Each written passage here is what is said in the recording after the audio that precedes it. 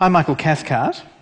I'm the host of Books and Arts Daily on RN, and my guest tonight is the spy thriller writer Dame Stella Rimington. Stella is superbly qualified to write about spies because for most of her working life she was a spy for the branch of the Secret Service known as MI5. She joined in 1968 she resisted the entrenched sexism of the organisation to serve in every major department counterintelligence, counter-subversion, counter-espionage. And in 1992, she became its first female Director General, a post she held until her retirement in 1996. When she did retire, Stella became a writer. She wrote an autobiography called Open Secret, and then a series of spy novels featuring her own very canny sleuth called Liz Carlyle. Book number six in the series is out. It's called Riptide. Would you please welcome Dame Stella Rimington?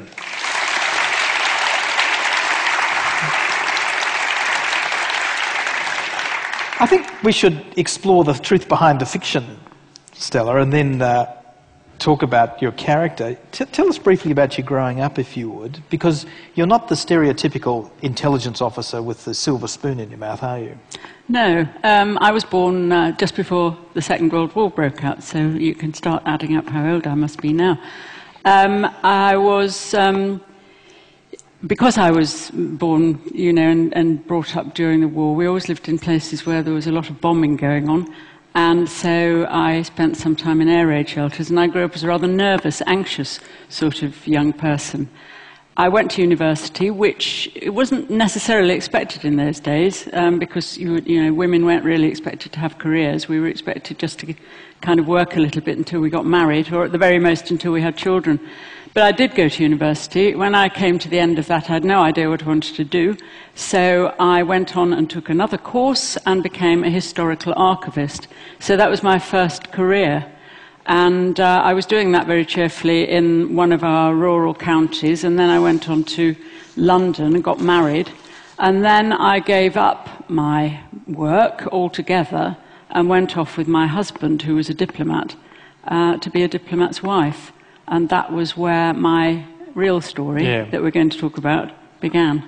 Well, let's talk briefly about being a diplomat's wife, because you do tell very funny stories about that. How you were given all these instructions about the kind of dresses one would need and how to behave, how to conduct oneself as a diplomat's wife.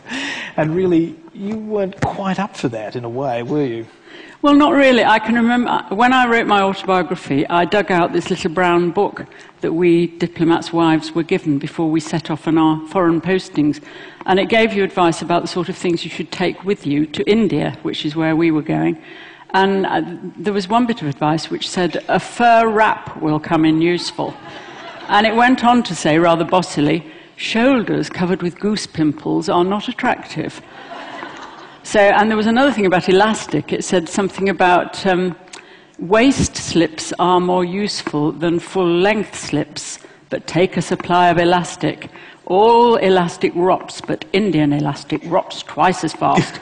so those, you know, armed with all this gubbins, I went off to be a diplomat's wife. And as you say, it wasn't really my scene, actually. And I mean, in those days, diplomats' wives, well, British diplomats' wives, weren't allowed to work in the place where they'd gone. So you had to spend your time running coffee mornings and appearing in amateur dramatics, and that's what I was doing. When. And you literally did get a tap on the shoulder. Yes, exactly what happened to me. I was doing all those things when one day somebody sidled up to me in the British High Commission compound in Delhi and tapped me on the shoulder and offered me a job. And the job, well, who it was, was the man who was running a very small MI5 office that existed within the British High Commission in Delhi. In those days, MI5 had small offices all over the Commonwealth. Called, they were called security liaison officers, and their job was to advise Commonwealth countries on their security. And the man in Delhi um, had, had too much work to do and recruited me as a part time clerk typist and that's I couldn't actually type, but it didn't seem to matter in those days. It was more about who you were than what you could actually do. Hmm. And that was how I started my career in And you could be sure that your elastic wasn't about to give out. Oh, no, absolutely. Let's just very briefly cover the history of MI5 because it's important to understand what this organisation is that you ended up running and that you write these books about. So it has its origins in the period just before the First World War. You say a sort of spy mania had developed in Britain. Yes, 1909 the British intelligence services started. But before that, we didn't have any kind of intelligence um, at all. And there was a spy mania. Just before the First World War, people became obsessed with the fact that we were, because we had no intelligence services and we had really no proper defenses, all kinds of stories started circulating around about German spies who were apparently, according to the stories, going around sort of counting the cows in the fields and measuring the bridges and doing all kinds of nasty spyish things. And so gradually, I think this kind of mania affected the government of the day. And they decided that because we were completely unprepared, we better have some kind of intelligence services. So two members of the armed forces were told go off and kind of found an intelligence service. And that's what they did. And that's the origin of MI5, which is our defensive intelligence service, and MI6, who are the, the ones who go out abroad and find other people's secrets and bring them back mm. home. So this is splendidly British. The, the, the head of MI5 was Captain Kell. Yes. And ever afterwards, the head of MI5 was known as K after Captain Kell. So you became K, is that Well, right? K was actually the head of our counter-espionage branch. So I did become K when I was uh, director of counter-espionage. Oh, then you got beyond K. Then you got beyond K. That's right. Above K is DG, which is what I became You're the DG. finally. Yes.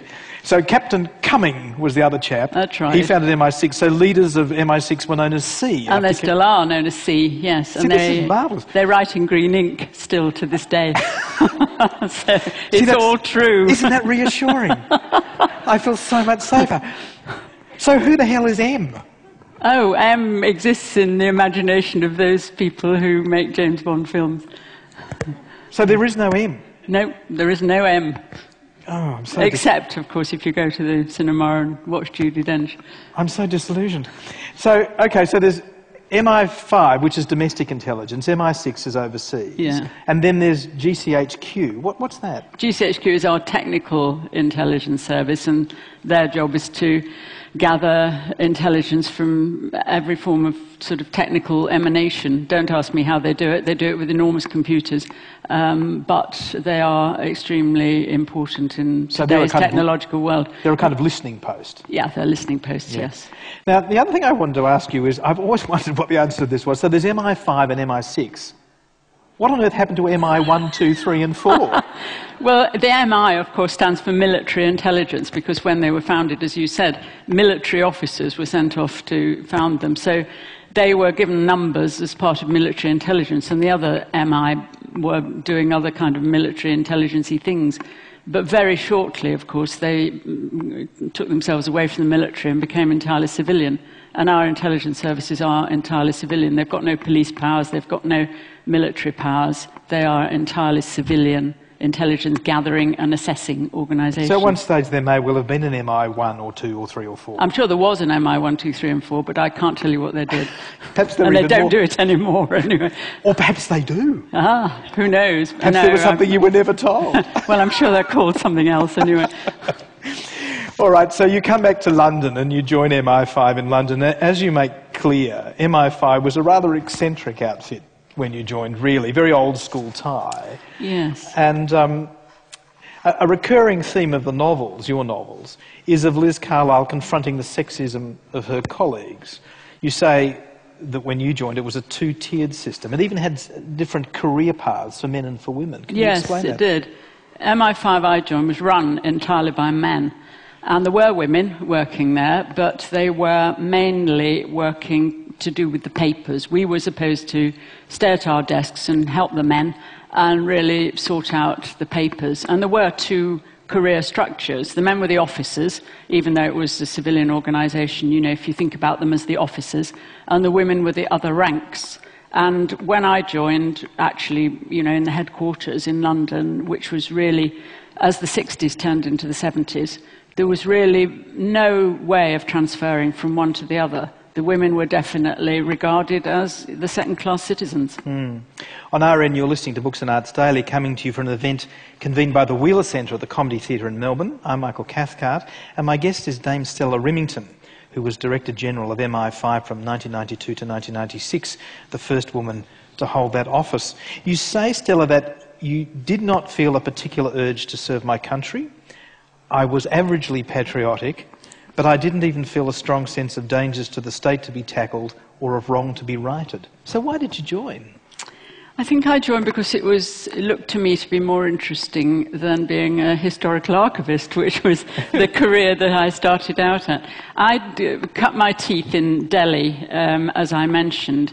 It was the height of the Cold War, and India was one of the forefronts of the Cold War, where East met West, and there was a lot of spying going on in India in those days. So I had already, before we came back to London, I had experience of the sort of thing that was going on.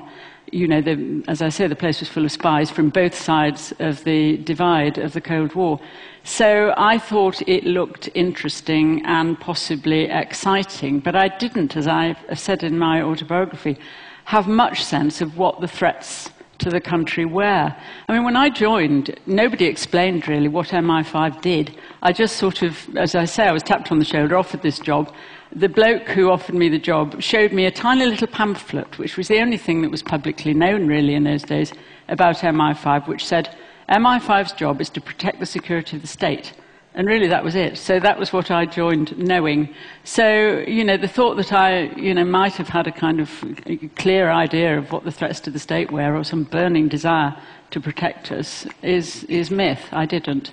You're right. I was still romantically dreaming about the great game. Yeah. And that's a, that's a wonderful phrase. And Yes. it's a phrase I don't think is now in currency. Perhaps you could explain it to us. Yes, well, the great. Uh, I, the reason I say that is that just before I joined, I got my tap on the shoulder.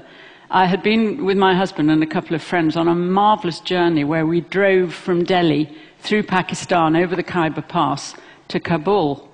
And I, in, a, in preparation for this, I'd been reading Kipling's Kim, which is this fantastic book written, I think, in 1901 about spying on the northwest frontier. And it's all about the, the sort of, um, I suppose, the battle between Russia, Germany, and Britain for influence in that part of India on the northwest frontier. And it's about spies, basically. I mean, Kim was a small boy who came across spies, a spying operation. And I thought, when somebody said, you know, MI5, I thought it was all going to be about British officers disguised as horse traders on the northwest frontier. So that was my romantic idea, uh, insofar as I had any idea of what it was I was joining. So, anyway, we've come back to London now, and one of the things that you describe in the London setup are these circles of secrecy. And you, as you explain, they're clearly important, but they're also crippling in some ways. Yes, um, you're talking about the need to know, Yes. which still exists, of course, and it means that really in those days, the whole ethos of MI5 was far more about not telling anybody anything unless they had a proven need to know it. And that was carried really in those days to rather ridiculous extremes, actually. No, but I mean, we, I don't think we ever saw the Director General when I first joined, for example. You know, the idea that you had joined an organization where you kind of knew broadly what was going on or what the policy of the organization was, was for the birds in those days. You didn't. You did your own little thing. You were aware that there was all sorts of stuff going on, but you didn't, you weren't told about it. And that was the need to know. And obviously, in those days, um, you know, it inhibited um, a commonsensical uh, approach to work because you can't actually run an organization if you're more concerned about the need to know than you are about the need to communicate. And it was that balance as the years w- rolled on that we had to get right. So you might have a bit of a puzzle and not even know that someone else has got the rest of the puzzle. That could have happened, actually, yes. I mean, the reason for it is, you know, sensible when you think about it, provided it's not carried to extremes, because obviously the more people who know, if you're running a sensitive operation, the less secure it is. And there is a reason, obviously, for secrecy, but you must be very careful that you don't carry it to extremes. Hmm. Now, we're talking about the Cold War. So what's MI5 actually doing during the Cold War? Let, us you know, concentrate on the late 50s, early 60s. What's going on? Well, during the Cold War, of course, the major threat to the security of the West came from the Soviet Union and their allies and their efforts at espionage to find out secrets that would help them if the Cold War ever turned to a fighting war, and subversion as they tried to undermine Western democracies and spread world communism. So, what we were trying to do in MI5 in those days was find out what the hostile intelligence services, who were present in our, all of our Western capitals in large numbers in those days, find out who they were, what they were doing, and try and scupper their operations, either recruit them to our side to tell us what was going on inside their own organizations, or get them expelled from the country and prosecute their, their spies. So that was primarily what we in MI5 were doing. We were trying to protect the country against the threat that came from our enemies of the Cold War. Now, one of the themes of many, much of the fiction is the theme of the double agent, the person who's inside the organisation who may be trading secrets with the Russians. And of course, there were such double agents, and there were people who um, there were people who defected. And your own work was involved at some stage in the defection of Burgess and Maclean and later Kim Philby in 63. In fact, you had two cats called Burgess and Maclean. yes, I did, yes.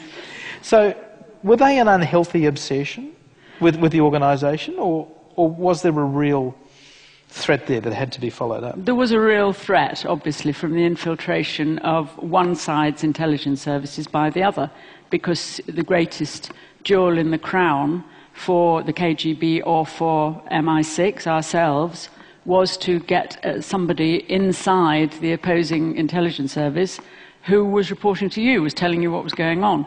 And you've mentioned Burgess, Philby, and Maclean, who were before my time, actually, but they were recruited as young men uh, while they were at university, and they infiltrated significant parts of the British establishment and reported to the Soviet Union for years about what was going on and passed vast numbers of documents, etc., and negated a great deal of the work of MI6 at the time because uh, Philby, of course, was the head of one of the sections in MI6.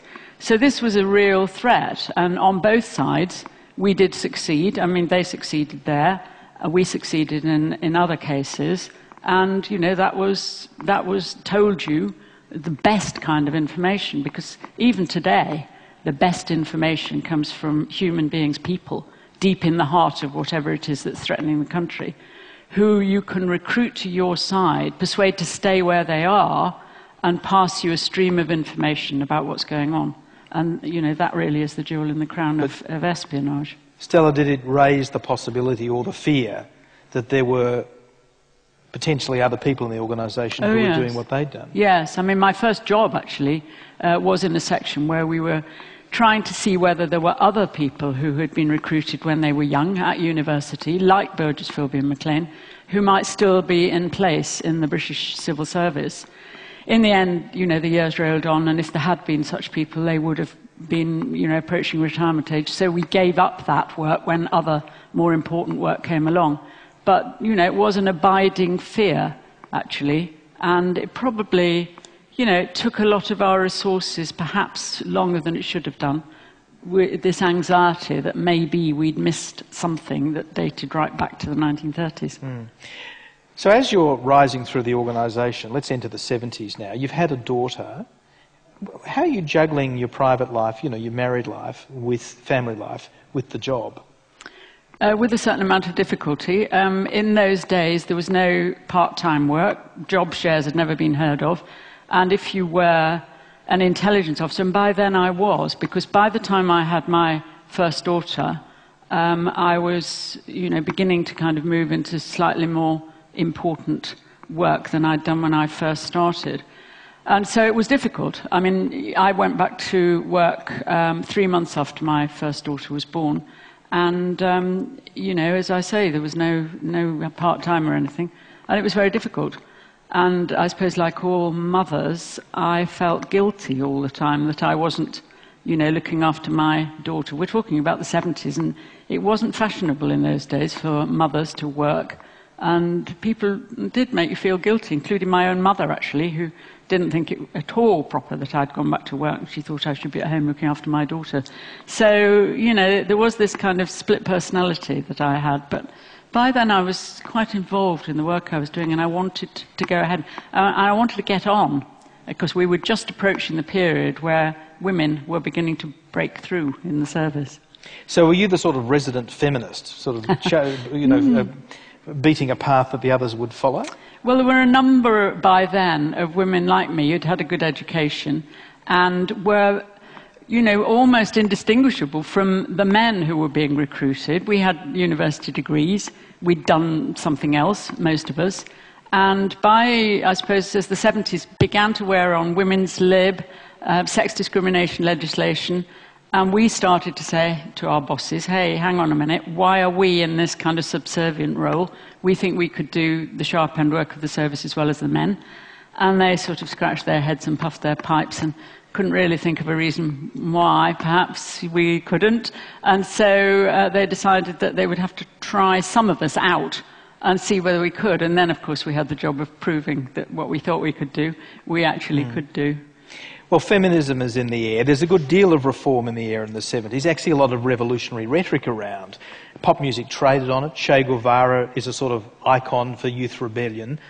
Did, did the Soviet Union try to co opt those social movements, those reform movements, to its ends, in your view? Um, yes, up to a point, actually. Um, certainly, the Communist Party of Great Britain tried to infiltrate CND, for example, um, some of the unions, and um, were trying to get for themselves, supported by the Soviet Union, an influence which they couldn't possibly have got through the ballot box. So the Soviet Union, supporting com- communist parties in all kinds of Western countries, were trying to kind of push communism into being, you know, a much more popular kind of political movement than left to itself it would ever have been. So, do you see the CND, the Great Anti Nuclear Movement, as a kind of dupe, or do you see it as a genuine organisation with genuine and legitimate objectives? Oh, yes. No, it was undoubtedly a genuine organisation with genuine, legitimate objectives, and it was joined by genuine people who genuinely felt, um, you know, that nuclear weapons were a bad thing. But as well as that, of course, it was a movement that was of advantage to our enemies during the Cold War, and particularly if the war had ever become a fighting war, because if, if, you can persuade countries not to arm themselves in the same way as you are armed, then obviously you have an advantage. So, you know, this was a classic uh, way of kind of infiltrating and, and persuading perfectly legitimate, good, honest people not, not to change their mind and not to support a foreign country, but to go on doing what they're doing, while as well as that, you feed in people who are trying to udge the thing over to uh, favour the Soviet Union as it was. So politics in the 70s is much more polarised than it is now. I mean, the, the Labor Party in both Britain and Australia was more of a left-wing party than it is now. In, you know, parties are now more of the centre. So people who are on the side of reform like to imagine that, in fact, that the security services have a file on them. It's a, it's a sort of badge of honour to think yeah. that you're under surveillance because you must have been at the barricades for some great cause. If one was a member of the CND, is it likely that your organisation had taped phone calls or got photographs of you or developed a no. dossier on you? I mean, you have to remember that um, security services in Western democracies are quite small. And the idea that they're, you know, kind of taping everybody and opening files on everybody is a complete myth. I mean, even, even if they wanted to, they wouldn't have the resource to do it. They have to focus their attention on the things that are real threats to our national security. I mean, if you look at it from the other point of view, if you look at the KGB, for example, it was enormous. Or the Stasi in East Germany. I mean, those are the kind of organizations that could monitor everybody and wanted to and did. Whereas in Western democracies, uh, you know, these organizations are comparatively small and uh, are focused, I can tell you, very sharply on the things that they've assessed as genuine threats to the security of the state, whatever people like to think about the fact that there are fouls on everybody. What about the way in which the temperature changes when a reform government is elected as opposed to a conservative government? Does the Secret Service you know, lock up files and hide filing cabinets and so on when a reform government is in power and heave a sigh of relief when the Tories are back at number 10? No, none of that happens. Much though you might like to think it does. No, no, I mean, life goes on. I mean, well, in Britain anyway, the government does not direct what the security service does. The security service tells the government what the threats to our national security are, and gives them uh, information about why they've made that assessment. And the government provides them with the necessary funding to protect the country. So I certainly have absolutely no knowledge of any time when any government tried to tell the head of Britain's security service what to do. Um, and I think if they had, they'd have been told, you know, no, we can't do it. It's not within our charter. Mm. The other story that's often told in films is how the security services knock off people who are a threat to the state. So you send out a sharpshooter to assassinate somebody. And, uh, you know, 007 has a license to kill. Um, the classic British TV series Callan with Edward Woodward was really about a, a reluctant Secret Service hitman. Um, the, the Le Carre film Tinker Tailor Soldier Spy ends with Bill Haydon, Colin Firth, being assassinated by a former colleague. Did that kind of thing go on? what do you want me to say there? I want you to tell me the truth. The truth, of course. There's a bright light shining in your eyes. no, British intelligence has no license to kill, um, so James Bond is a total myth. Um, so, no, I mean, assassination operations do not take place, and that's really all there is to say about it. The, uh, in your new novel, you give the impression, which is also a feature, I must say, the TV series Spooks, that the, the British Secret Service is very punctilious and very restrained, and that the US agencies are much more gung ho and a bit incautious in the way they conduct themselves. Um, you do tell the story about when you came to a briefing in Australia of various intelligence services that the US were practicing a level of security which you thought was excessive.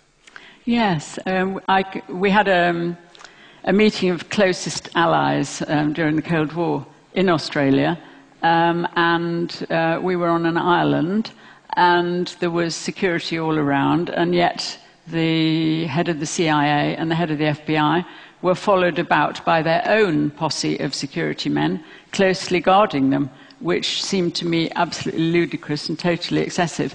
But of course, when you think about it, these guys were paid to uh, guard the head of the CIA and the FBI, and that was their job, and that was what they were going to do. So that was the uh, origin of that particular little story. One of the features of the Cold War is that it divided the world into two camps there was freedom and there was tyranny. So there was a tendency by some people to engage in kind of binary thought. There was only the good and the bad. And it's always seemed to me that one of the dangers of any kind of intelligence work, and in fact also of history, because my trade is as a historian, is that you get drawn into this idea that there are only two camps and that everyone who's against us is somehow in league. Is that a kind of conspiracy view of the world that you have to guard against when you're in, in intelligence? Is it a habit of mind you've got to check yourself for? It's not a habit of mind that I entirely recognize. I'm, I mean, when you're in an intelligence organization, you're actually focused on the threats and gathering information about the threats and analyzing what you've learned and working out what you're going to do about it. You don't spend an awful lot of time really thinking kind of philosophically about the way the world divides into good and bad you're very, very focused on, you know, whether it's during uh, the Cold War on espionage or nowadays on terrorism. You're focused on where is the threat to the country and what are we going to do about it and how do we understand it, etc. So uh, there's not a, a, lot of time for kind of philosophical brooding about, I see. Uh, you know, the good and the bad, really. Well, the bad did fall over in 1991. The Soviet Union collapsed in 1991. The Berlin Wall, of course, came down in 89. The collapse of the Soviet bloc seems to have come as a complete surprise to everybody. Did you have a sense that, that communism was about to come crashing down? No, I don't think we did. I mean, it seems strange when we were an intelligence service, but quite frankly, I don't think there was any, you know, there wasn't much to see until everybody could see it as the countries of Eastern Europe started you know, to collapse and, and for, go into kind of revolutionary mode, and then ultimately the Soviet Union as well. It was all there for everyone to see. And I don't think there was. There wasn't things to pick up, actually. But it was for us, I mean, it was a very dramatic time, as you can imagine. These people, you know, had been our enemies. These nations had been the threats all my working life. And then all of a sudden, you saw them changing. And I mean, we um, sat down and thought, you know, what are we, how are we going to kind of capitalize on this new situation? We decided, particularly with the countries of Eastern Europe, that we would set about trying to make these new democracies our friends. So we made contact with uh, um, people who'd been our enemies all my working life. And I found myself in the headquarters of the Bulgarians and the Poles and the Czechs talking about what we'd been trying to do to each other during the Cold War and sort of advising them on how to restructure their intelligence services to work in democracies. Sorry, do you mean you sat around sort of slapping your thighs and saying, You'll never guess what we did to your lot? And they said, Well, No. you think that's good, you should know what we got away with on our side. Not quite. I mean, we weren't so talking about specific operations, but as you can imagine, uh, you know, when you suddenly are in the headquarters of a country that you never thought to visit, and certainly talking to people that you never thought to meet, Yeah. there is a certain, uh, you know, kind of amazement. Uh, and, uh, and a certain jocularity certainly develops, and much whiskey and vodka was drunk far into the night, I can tell you, on, in those occasions. And troops of Poles and Bulgarians and whatever came through our training, um, uh, training sections because the deal we struck really was that we would help them um, to adapt to being working in democracies, and they would stop spying on us, and they would help us understand these terrorist organizations that were active at the time, many of whom the communist countries had actually supported as a way of getting at the West. So there were deals to be done there, and uh, that's what we did. And it was very successful, actually. On RN, you're listening to Books and Arts Daily with Michael Cathcart, and we're on stage at the Comedy Theatre at an event organised by the Wheeler Centre talking to Dame Stella Rimington, uh, the former head of MI5. You became the head of MI5 in 1992, which is the year after the Soviet Union collapsed, and um, you were unusual in opening MI5 to public gaze. How did that come about? Well, when I was appointed Director General, uh, and it wasn't a job I'd applied for in those days, um, you just got told you've got the job, sort of thing. So I was told one day, you're going to be the next Director General, and almost by the way, the government's decided that on your appointment, we're going to announce your name. And I was quite taken aback by this. This was the first time that the head of any of our intelligence services had been publicly named. The reason the government decided to do it was partly because by then we had legislated for our intelligence services. When I joined MI5, there was no law that covered our work. We worked by virtue of a sort of compact uh, or agreement with each incoming government about broadly what we would do. But by the 1990s, during the 1980s, we legislated, we passed laws to co- cover the work of the intelligence services. And so I was the first to be appointed under those laws. And so the government decided the public had a right to know. So there I was, a woman in a man's job, as the press saw it. Suddenly, the press had this fantastic announcement uh, about this woman that they knew absolutely nothing about. And uh, as you can imagine, an enormous sort of press furore broke out as they tried to find out who is this woman in a man's job? And, uh, you know, why haven't we got a photograph of her? And so they came and they found out everything they possibly could about us. Well, the world was changing, communism was coming to an end, but a new threat was developing, and that threat was terrorism. And you, you, the British already had experience of terrorism because the IRA had been blowing things up, not just in Ireland, but also in, in London. Um, but Liz Carlyle, in the latest book, utters this line. She says, For the intelligence world, 9 11 changed everything. How did it change everything? Well, by the time I retired, we had already seen, I suppose, the beginnings of um, the kind of terrorism that my former colleagues are dealing with now. We had seen just the start of sort of Islamist groups, particularly coming out of North Africa in those days. But mostly, of course, we were focusing on the IRA, who were still very active when I retired. Then, but after I retired, along came 9 11. And of course, what that did, I mean, leave aside the American reaction for the moment, but I think what 9 11 did was draw to everyone's attention the fact that terrorism could do dreadful and appalling things, and that, um, you know, we, we were in a completely new world.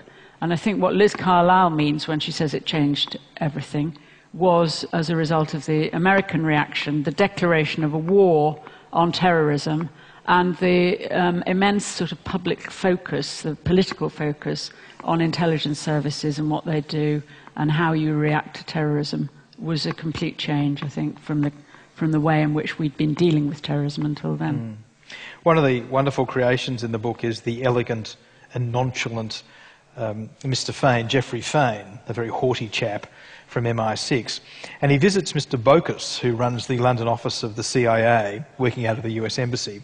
And it's pretty clear that they don't like each other, but they're determined to resist terrorism. And Bokus talks about the problem of terrorists finding a safe haven in Yemen or Somalia, which is a nuisance, he points out, since the Americans are fighting terrorism in Iraq and Afghanistan.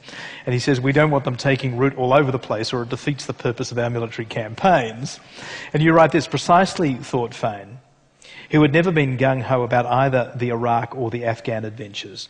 To him, Al Qaeda was a global movement that used criminal means. It was best tackled through intelligence and, when necessary, specifically applied force, not with the blunderbuss of NATO's military might, unless the US and its allies were going to be happy to fight, quote, a war against terror on 50 fronts. But Bokus obviously didn't agree, so Fane merely nodded. Are you expressing your own views there? Yes, to an extent I am expressing my own view, which is that um, terrorism is a crime and should be uh, ultimately uh, pursued by police intelligence methods, uh, the idea being that you are uh, trying to bring the terrorists into the courts and uh, try them, and if they're found guilty, put them in prison. That's my view, and the British view, really, of how you deal with terrorism, which is different from the American view, which is that you are fighting a war against terrorists and that uh, you know, the, the civil courts are not really the place uh, for trying terrorists. So, yeah, I am expressing my view. And are you opposed to that on, on, the basis of ethics or because you think that the American strategy is counterproductive? Uh, both, I think, really. I think it is counterproductive. I think um, uh, the declaration of a war on terror um, hasn't really been a very successful way of dealing with terrorists. You end up with Guantanamo Bay and people that you really don't know what to do with. But you also um, end up, I think, as um, almost a recruiting sergeant for young men who feel aggrieved by the way uh, the war on terror is being conducted and find themselves, as in the book, turning to terrorism themselves because they have this grievance.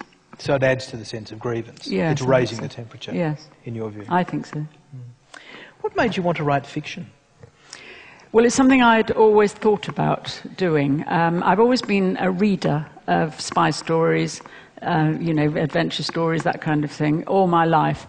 And uh, having had the career I've had, I often used to think, hmm, I'd quite like to try my hand at this. But of course, it's not the kind of thing you can do when you're working in an intelligence service. So it was something, you know, I had in the back of my mind. What I'd never thought I would do was write my autobiography. And strangely enough, um, that's what I ended up doing first, and then the, the novels came later. And when I retired, lots of publishers wrote to me and said, Oh, we'd love to publish your memoirs. And I wrote back and said, Oh, I couldn't possibly do that, you know, it's all too secret.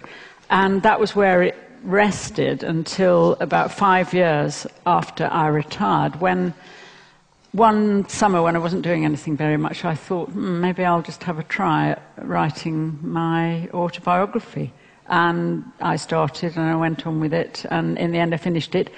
And I sent it into the clearance process, which exists for people like me or any public servant in Great Britain who wants to write their memoirs or anything else really. You have to have it cleared. So I sent it in to be cleared, and there was a sort of deathly silence in Whitehall. You could almost hear the corporate gasp coming out of Whitehall as they wondered what on earth to do, because I'd written it very carefully. It was not full of the nation's secrets at all. It was my life story. And yet they were anxious about this. And so there was this deathly silence until one day somebody in the clearance process broke cover and put this completely uncleared manuscript into a brown paper envelope and sent it to the Sun newspaper, which is one of our most tabloid of tabloids. And they didn't know what to do with it. So they put it back in another brown paper envelope and sent it to number 10 Downing Street in a taxi with a press photographer. And that started a huge, great sort of press furore about whether I should be allowed to do this or shouldn't be allowed to do it. And, uh, you know, achieved vast publicity, which I would never have achieved if I'd tried. And um, in the end, it, it was clear. I was asked to make a few adjustments, but not very many. And I published it. And so that was the beginning of my writing career, which began in a way I hadn't intended, actually. You say in that biography, all my life, I've felt that showing emotion is somehow a bit of a weakness. Emotions are what other people are allowed to have and show. Have you become freer with your emotions since you became a novelist? Oh, yes, I'm sure I have. I mean, that refers back to the fact that I had a Yorkshire father and a Lancashire mother and um, who had a strong sense of duty, particularly my father, who'd fought in the First World War, and was a very sort of stiff upper lip kind of chap. And through the war, you know, when we'd been bombed and heaven knows what all, it was, you know, he kept us all on the straight and narrow. We, there was no panicking, there was no kind of emoting or generally carrying on. We just got on with it. And you were supposed to um, you know, duty was very important. And I think that attitude really is something I inherited. But as I've got older, I think I've got freer, actually, and now I can emote away with the best of us. Just before we open for questions, there is one last thing I wanted to ask you, and that's about China. So the Cold War ended with the collapse of the USSR, and we all talked as though communism had come to an end, but China is still there.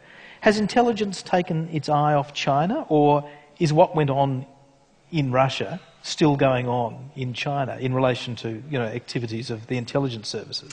Well, I'm sure intelligence has not taken its eye off China or off Russia, I would say, um, because uh, we hear that there are as many Russian intelligence officers in London now as there were during the Cold War. So espionage goes on, and espionage from China goes on too, I'm quite sure.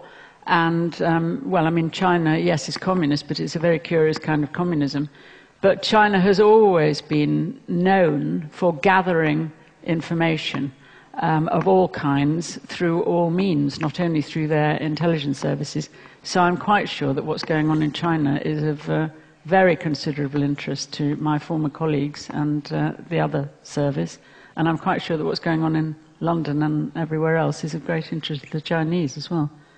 Let's bring the lights up and um, get some questions from the audience. So there's a couple of microphones either side. So if you pop your hand up so I can see you, which I can now do, we can invite you to ask a question. Now, don't be shy. There's one right there. Oh, no, up the back there. I'll get you in a minute. Hello.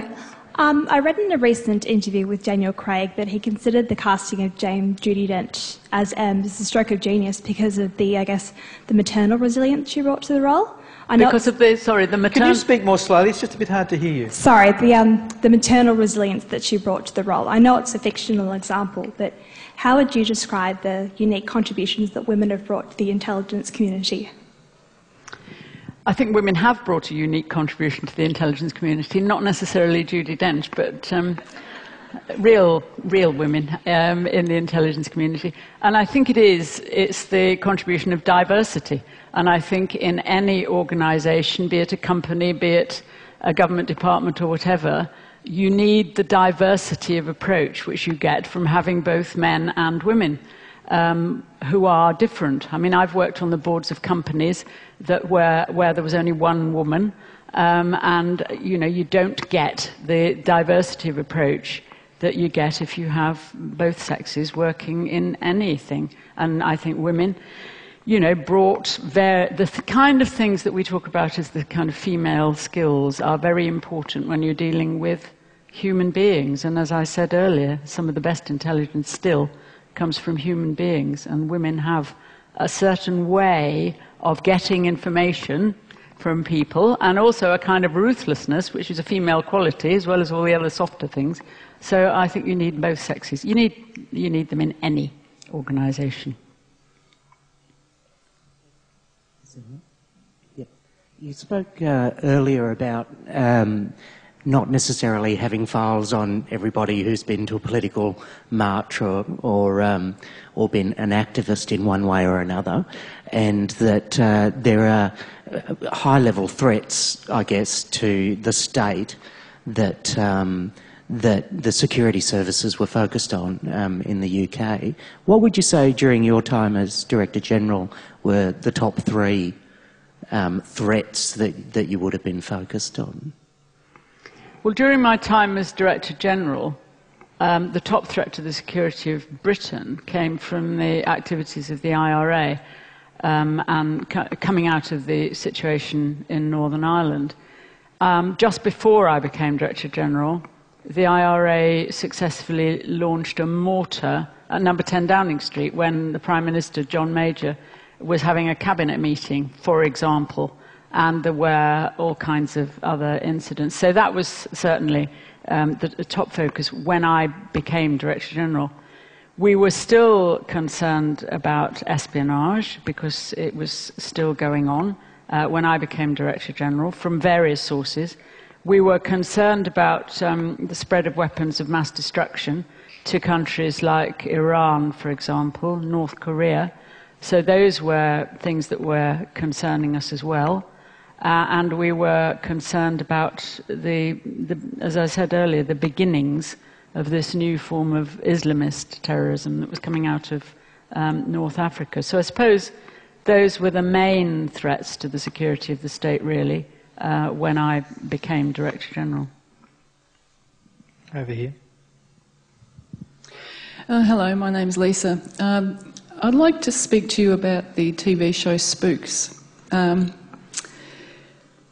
I am a fan of the show, but it annoys me that everything's done and dusted in an hour, and there's there's no intelligence gaps. There's no uh, waiting for information or or uh, joining the dots was this uh, unrealistic viewpoint part of the catalyst for you to write about your career? Um, yes, uh, to be frank. I thought it was time um, that we kind of rescued the spy story from the men in the same way as we managed to rescue the intelligence services from the men, too. But yes, it was. I do get very annoyed by shows like Spooks, I must say. And I know they're very popular, but an awful lot of people think that they really are quite accurate. And it's very worrying, actually, because you're quite right. Every week, a very small group of people go off and save the nation from some hideous threat, putting themselves at vast danger as they do so. And I mean, one of the key things about running a successful intelligence service is that you do not put your operatives in huge amounts of danger you use your tradecraft to protect them when they go out into potentially dangerous situations. You surround them with all the sort of protective tradecraft that you have to try and make sure, to the best of your ability, that they come home safe. So everything behind spooks is wrong, actually.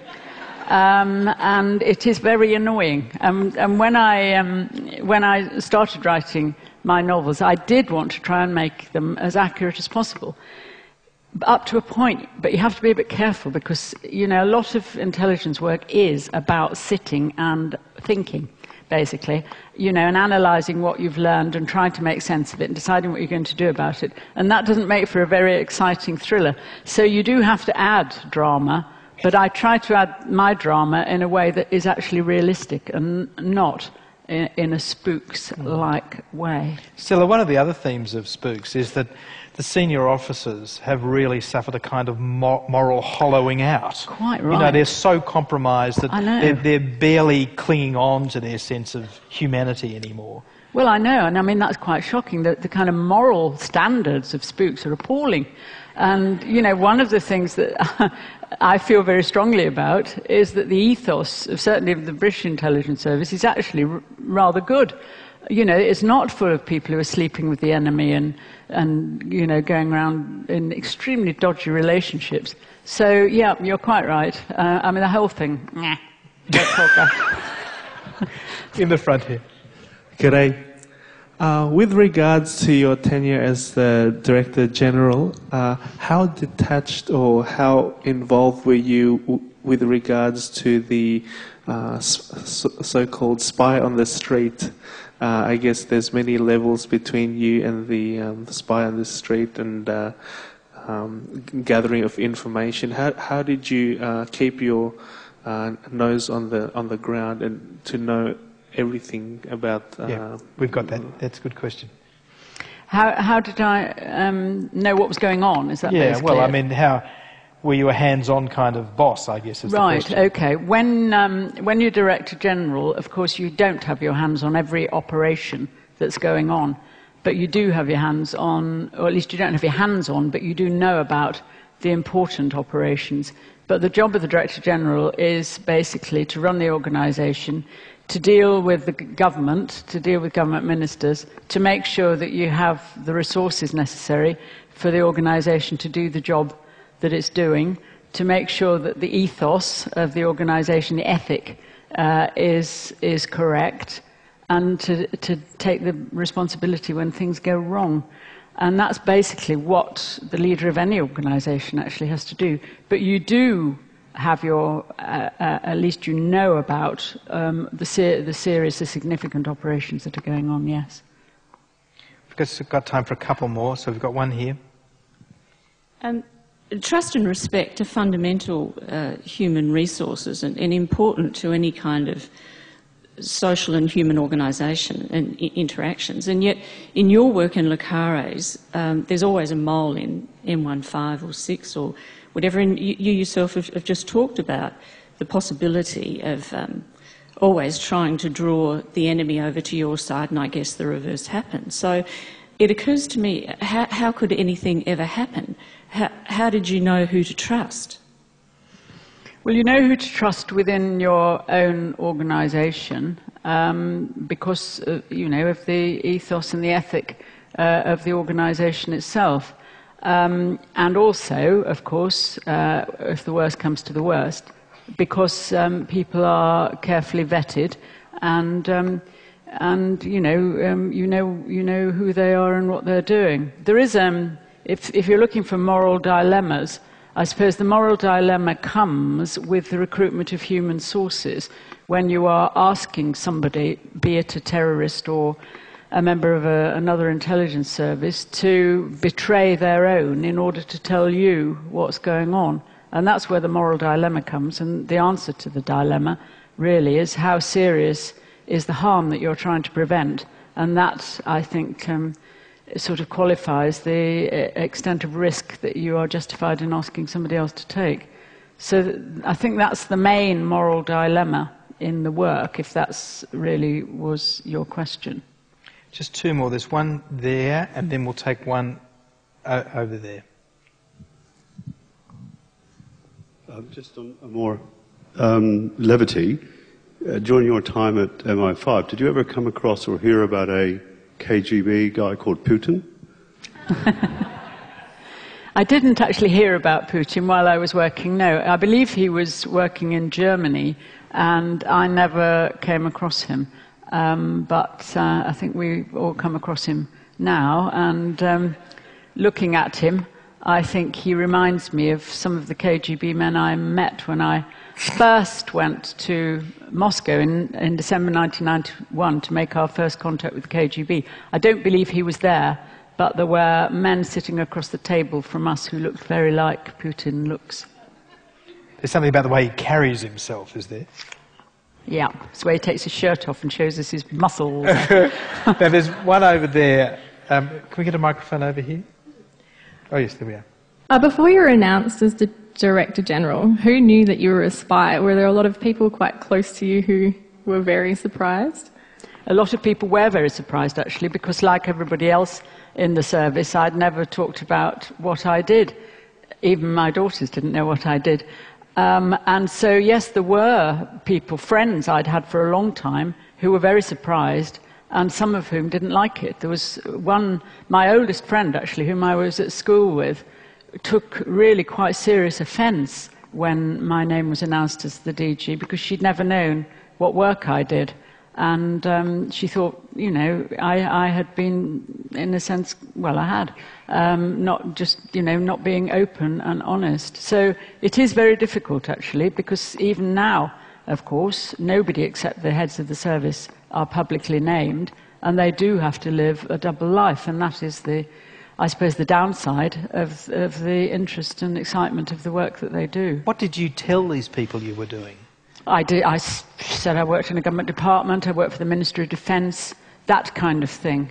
Uh, it is very difficult because, you know, your neighbour invites you to their Christmas drinks, and you know that if you go, the first thing anybody's going to say to you is, What do you do?